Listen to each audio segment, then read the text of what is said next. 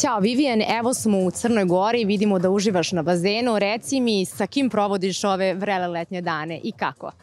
Pozdrav, ovaj, pa ništa, evo tu sam u Crnoj Gori, u Royal Blue Resortu, sviram, u suštini najviše dana provodim na svirci, zato što skoro svako večer imam neku svirku.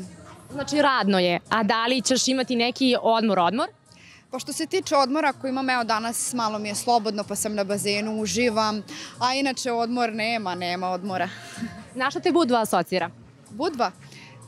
Pa Budva me asocira kao Los Angeles. Znači Beograd, Budva, Los Angeles, to mi je to. Nekako, svi su imali neke letnje ljubavi kad, na moru. Da li si e, ti imala neku letnju ljubav koju danas pamtiš? Što se tiče mora i letnjih ljubavi, iskreno, pa možda, možda i ne. Ostaću misteriozna, to je najslađe da se pitaju ko je u pitanju. A kakav ti je sad ljubavni status, s obzirom da smo te videli samo ovde, da si na plaži, da li kriješ partnera ili... Pa mi svi žene uvek krijemo partnere koje zmije noge. Šalim se, ove, ovaj, trenutno nemam nikog slobodna sam, tako da... Kakvog muškarca traži Vivian? Vivian, Vivian voli pevače. Muzičare naravno, neko ko peva, ko će da mi peva na uvo, ja njemu da sviram violinu i pevam na uvo, tako da kada nađeš nekoga ko je isti kao ti, baviti se istim poslom, to može da bude vrlo uspešno kad je ista branša. Tako da, eto, muzičari. Koji ti je najbolji uh, frajer na estradi što se tiče pevača? Iskreno, pa Nući. Nući. Sutra nastupa u Budvi, da li ćeš otići na njegov nastup? Sutra, pa ako budem ja slobodna, otići ću na nastup. A da li ste se možda upoznali nekad? Jesi išla na neki njegov nastup? Iskreno nisam. Ovaj. Pa ja u suštini, ajde sad ima tu još, nije samo Nući, ima tu dosta pevača, ovaj, sami će se pronaći.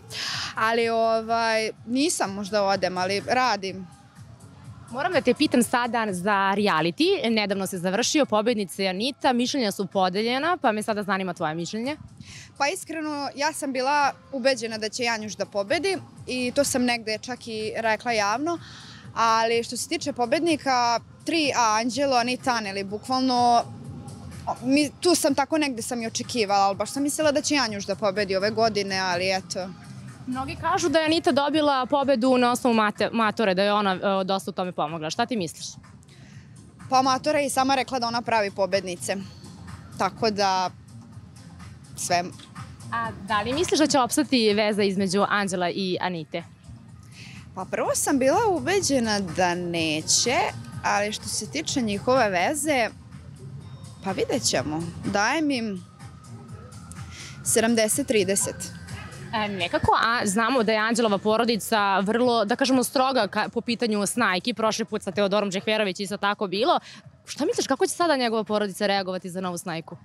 Pa iskreno što se njegove porodice tiče, mislim da on ne pita tu dosta porodicu, da on radi po svome, tako da e, što se tiče toga, pa ja mislim da će da je prihvate. Verovatno. E sad ne znam. Možda i neće.